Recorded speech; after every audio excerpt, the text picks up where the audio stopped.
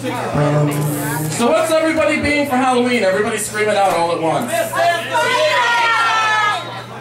Oh, this handsome young gentleman has Spotify. Do you think this will happen on Spotify? Okay.